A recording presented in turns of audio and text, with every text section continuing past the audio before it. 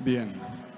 La diferencia real entre el día en el que te sientes capaz y es en el que te crees que ya no puedes más está en cómo te sientes. No está en tu capacidad, esa la tienes. Se mantiene exactamente igual. Dudaron de mí y dudé de mí porque creí que yo sabían cosas que yo no sabía hasta que vi que enfrente no se un camino sino mil, que enfrente no se un camino sino mil. Y sonreí porque entendí que ahí delante no había felicidad esperándome, tenía que ser yo quien la llevase desde aquí, desde ahora, desde este mismo instante. Y olvidarme de que mi autoestima dependa de nadie, prefiero gustarme a gustarte, sienta bien decirlo, pero creerlo de verdad es aún más grande, no sabes lo que vales hasta que llegan los baches, aprende de los planes que no salen, un nuevo yo despierta, un nuevo yo mejor de lo que era y con más fuerza, un nuevo yo que acepta que hay metas que le superan, pero que ante el problema no se rinde, se reinventa. No se rinde aunque sí le apetezca, aunque dude y parezca que no merece la pena, porque la paz no la regalan, se pelea contra los que están fuera, contra tu propia conciencia, contra limitaciones y carencias autoimpuestas. Un nuevo yo despierta,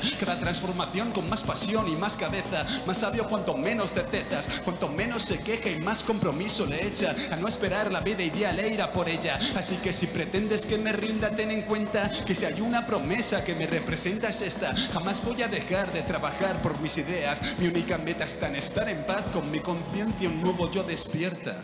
El viejo yo se me quedó pequeño, crecí lo siento, pero ya no quepo ahí dentro. Siempre es un trauma deshacerse de lo viejo, pero ahí lo dejo y no volveré. No hay marcha atrás en eso de cambiar e ir creciendo. El miedo al que vendrá no va a evitar que lleguen riesgos. La vida es movimiento. O te mueves tú o te mueven ellos. Quiero pensar que puedo controlar mis precios. Debo aceptar mis fallos y sacarles provecho. Debo creerme que crecer es bueno.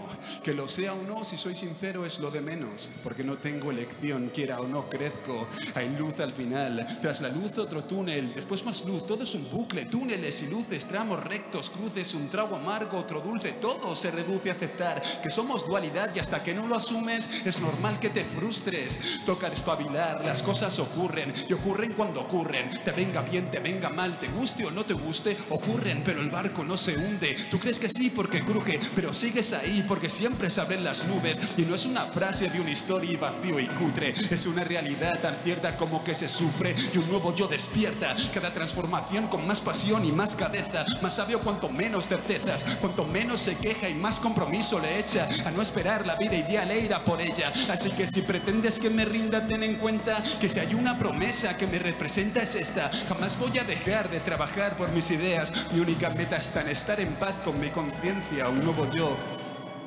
despierta.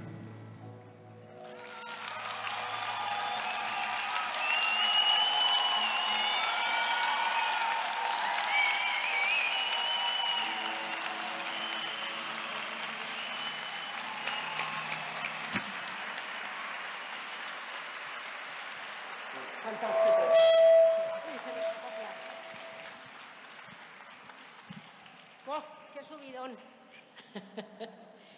Buenas tardes, compañeras, compañeros. Qué vértigo, a pesar de estar tan bajito.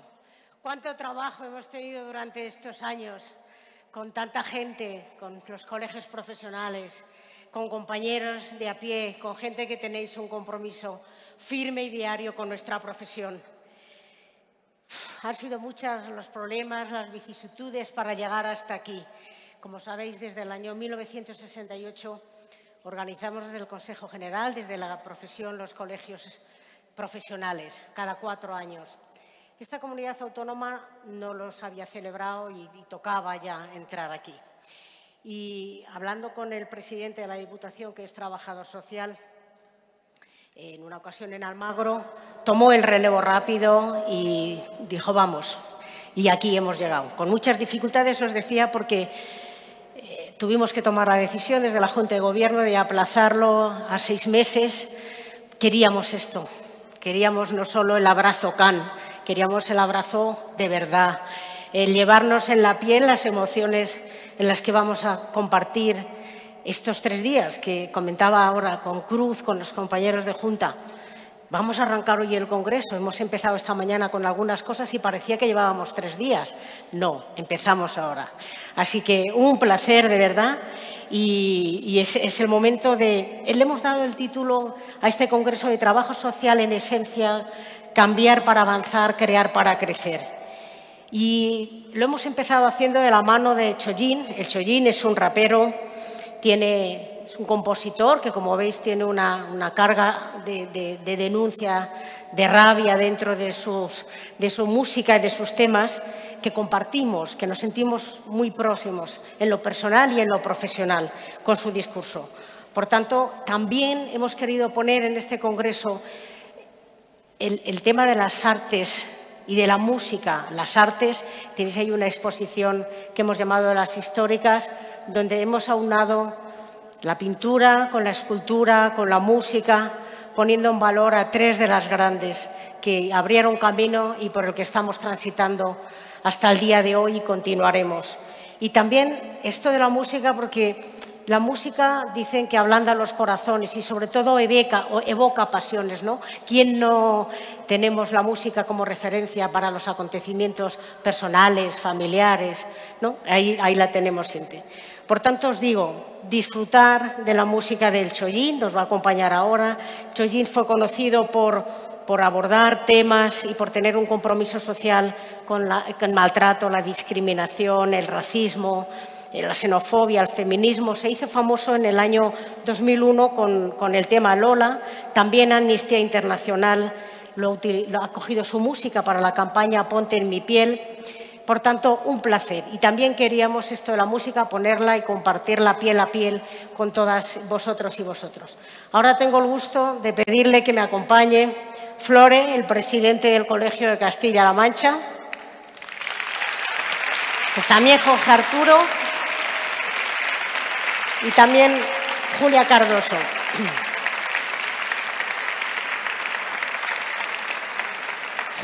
Julia Cardoso es la presidenta de los trabajadores y trabajadoras sociales de Portugal. Aquí creo que se merecen efectivamente un gran aplauso.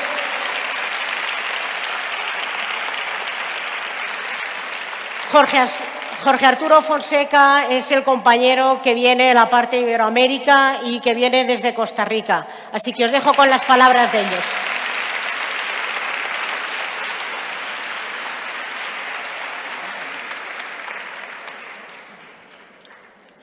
Bueno, compañeras, compañeros, benvinguts, benvingudes, benvida, benvido, onguietorri, welcome, bienvenidas y bienvenidos.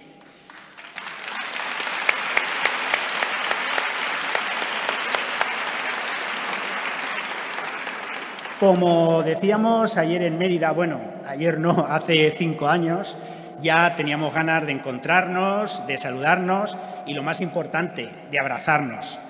Pues aquí estamos, en el corazón de la Mancha, tierra extensa, llana y sencilla, que sin duda se enorgullece de poderos recibir a todas y todos. En este momento, aparte de las personas que componen el Consejo General, Quisiera poner en valor la inmensa labor y disponibilidad de horas y horas de mis compañeras y compañeros de la Junta de Gobierno del Colegio de Trabajo Social de Castilla-La Mancha, de nuestra trabajadora social de nuestra sede de Cuenca, así como las más de 25 colaboradoras y colaboradores que están trabajando desde hace semanas para que esto sea más fácil y fluido.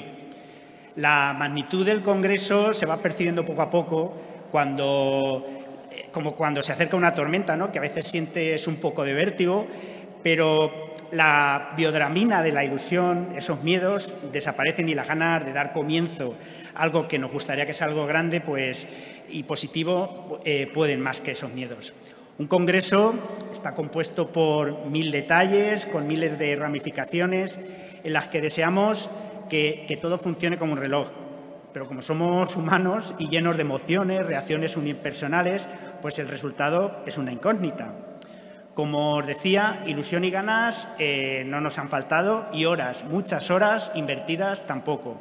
Esto comienza a rodar desde ya. Tenemos un programa amplio, versátil y calendarizado, pero sois vosotras y vosotros a los que os toca, a, los que nos toca moldear este congreso, porque es un congreso que va de trabajo social. ¿Y qué sería del trabajo social sin las relaciones humanas? Pero un congreso de poco serviría si no fuese más allá de las paredes que conforman este edificio. Los días que vamos a vivir son meta, pero al mismo tiempo es la línea de salida que den fortaleza a nuestra profesión para que sea determinante en el bienestar de la ciudadanía. Vamos a aprovechar al máximo estos días y cuando volvamos a cada uno de nuestros territorios, pues vamos a hablar del Congreso, de lo que hemos vivido aquí, que ojalá sea todo positivo, porque sin duda yo creo que será el mejor combustible para hacer más grande el trabajo social en cada uno de los rincones en los que nos encontremos. Si logramos eso, este Congreso habrá valido la pena. Así que qué alegría teneros aquí, esperemos estar a la altura y muchas gracias a todas y a todos.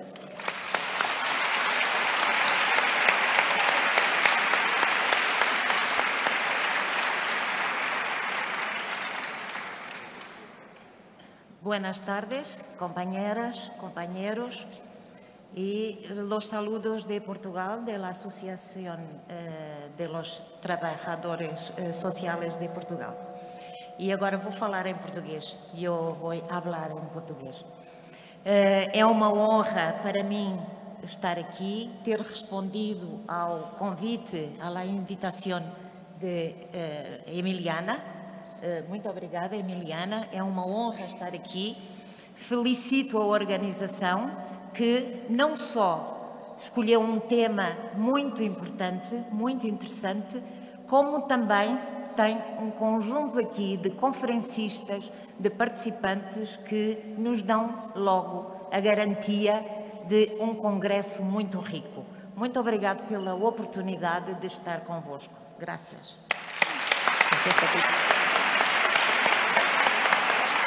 un minuto. Ah, buenas tardes. Eh, gracias a la comisión organizadora y a todas y todos los presentes. En nombre del Colegio de Sociales de Costa Rica y como coordinador del Comité Latinoamericano y del Caribe de las federaciones, colegios y, y asociaciones de trabajo social de nuestra América, nos complace compartir con ustedes este saludo. Hemos participado de estas dos cumbres iberoamericanas de trabajo social con el propósito fundamental de generar lazos de cooperación entre España, Portugal y nuestras Américas y el Caribe. Esperamos que puedan concretarse y que estos proyectos sean mutuos en resultados que tanto anhelamos, al menos en nuestro continente. Les deseamos éxito en la actividad académica y de encuentros. Muchas gracias. Bajamos, bajamos, bajamos.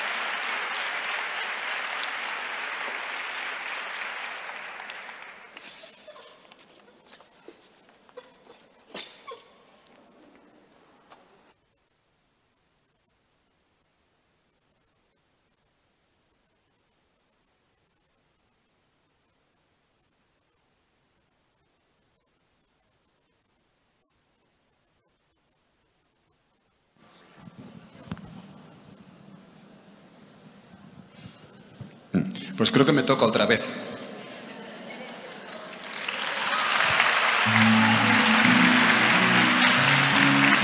Ok. Pues antes de nada quiero dar las gracias a todas las personas que están aquí por, por su compromiso con la sociedad, porque al final se trata de eso, de intentar hacer un mundo un poquito más amable. Así que gracias. Mirad. Bien. Ahí me tenéis en uno de esos días en los que nadie te coge el teléfono y las paredes se te echan encima. Yo sé que siempre hay salida, pero saber que todo irá mejor no quita. Me sienta hecho una porquería. Pasan los años, los proyectos, los sueños. ¿Recuerdas cómo querías ser cuando eras pequeño? Crecer es darte cuenta de que la vida no es como te gustaría que fuera, todo mucho más complejo. Responsabilidades, luchas, deberes, sonreír cuando no te apetece, mentir para no hacer daño a la gente que quieres y fingir cuando perfectamente sabes que te mienten. ¿Merece la pena hacer lo que se supone que debes más veces de lo que realmente quieres? ¿Ah? ¿Por qué terminé haciendo lo que todos hacen si se supone que siempre me sentí diferente? No, he sido un cobarde disfrazado de valiente, siempre pendiente del qué dirá la gente. Escondo mis miedos para parecer fuerte, pero ya no más, es hora de ser consecuente porque porque creo que lo he visto, amigas y amigos, y no sé, pero Quizá la clave para ser realmente libre sea reír cuando puedas y llorar cuando lo necesites. Ser honesto con uno mismo, centrarse en lo importante y olvidarse del ruido. Quizá la clave para ser realmente libre sea reír cuando puedas y llorar cuando lo necesites. No obcecarse con los objetivos, tratar de relajarse y vivir algo más tranquilo, ¿no? Normalmente cuando hago este tema y llega este momento en el que yo me cago, me callo y suena la guitarra, la gente aplaude. Entonces yo estoy como así. ¡Hey, gracias! Sigo, mirad. Veréis. Con este tema me hago una promesa y es hacer lo que sea para encontrar soluciones, no problemas. Sé que no soy perfecto, ¿vale? Pues no me castigaré más por no serlo. Voy a aprender a decir que no, a aceptarme como soy, a medir el valor, porque a veces fui valiente por miedo. Yo sé que suena extraño, pero ¿sabes qué? Lo peor de todo es que es cierto. Hoy busco dormir a gusto, no suena muy ambicioso, pero créeme, es mucho. Llevo 30 años estudiando la vida y eso de que no hay mal que por bien no venga, eso es mentira. Me centraré en lo importante, en mi familia, mis amigos, mi pasión por el arte. Aceptaré que tengo derecho a estar de bajón de vez en cuando, pues porque estar de bajón es humano, pero no pienso rendirme ante ningún problema. Confío en mí, soy capaz de vencer lo que sea. Volveré a caer millones de veces, pero siempre volveré a erguirme porque me di cuenta de que ¿Saben de qué me di cuenta? Me di cuenta de que quizá la clave para ser realmente libre sea reír cuando puedas y llorar cuando lo necesites, ser honesto con uno mismo, centrarse en lo importante y olvidarse del ruido. Quizá la clave para ser realmente libre sea reír cuando puedas y llorar cuando lo necesites, no obcecarse con los objetivos, tratar de relajarse y vivir algo más tranquilo. Y funciona. Muchas gracias, señoras y señores. Un poquito más, que me voy a ir ya. Pásenlo bien estos días. Chao.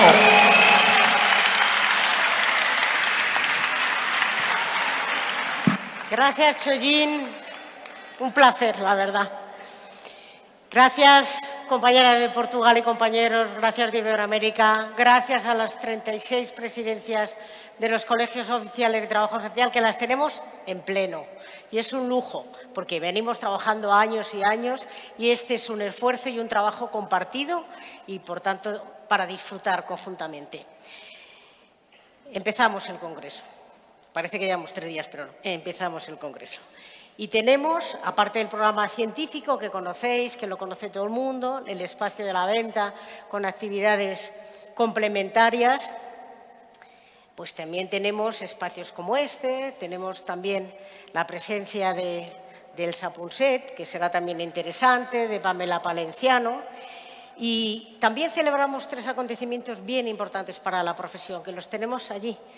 Los 10 años de los premios estatales, los 10 años de la actualización del Código Deontológico, nuestro bestseller del trabajo social, y los 40 años de la existencia de estas organizaciones profesionales. Por lo tanto, tenemos también mucho que, celebrar.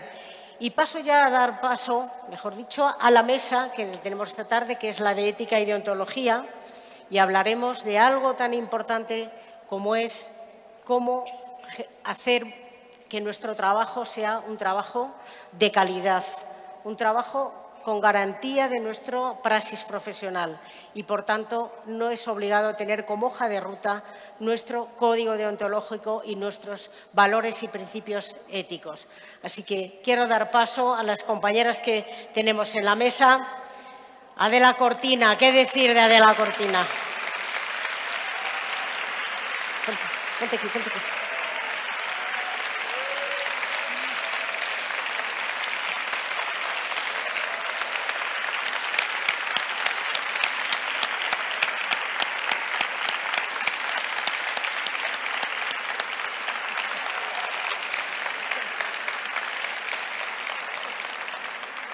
Hemos agradecido en nombre propio, pero en nombre de toda la profesión, que aceptara estar esta tarde aquí, que compartiera con nosotros este espacio y que aprendiéramos una vez más y en este momento de una mujer de la altura, de sabiduría, en ética, en como esa de la cortina. Por tanto, un placer.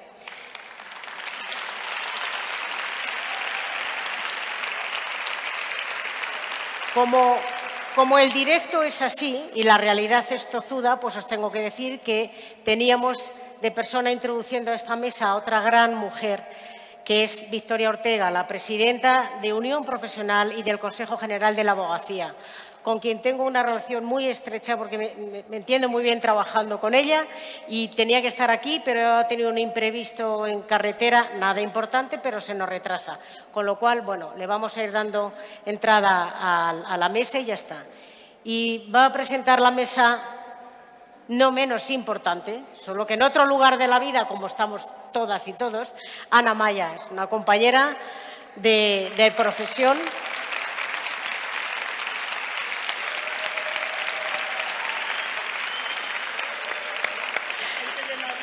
Claro, y que ha trabajado también en la constitución de la Comisión Deontológica del Consejo y que está de relatora con otra compañera que es Cayetana, miembro de la Junta de Gobierno, que la conocéis muchos y muchas, pero fijaros que quisimos que el COVID no nos atropellara, pues a veces nos pilla. Entonces ha tenido un problema con el tema del COVID y no ha podido estar. Pero bueno, en esta profesión somos muchas y mucho remando y con muchas capacidades desde todos los sitios y por tanto pues nos vamos supliendo y complementando. Así que os dejo, pero antes de eso quiero ponerle la insignia de la profesión en nombre de toda la profesión a De la Cortina.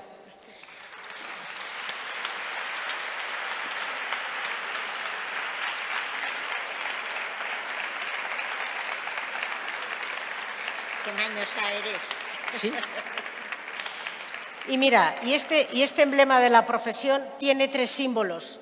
Yo en este acto voy a hablar de uno, que es el de la mano tendida.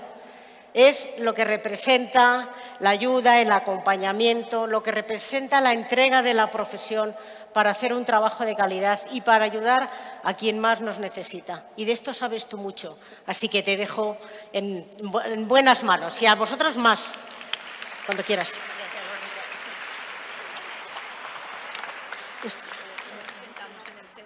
Sí.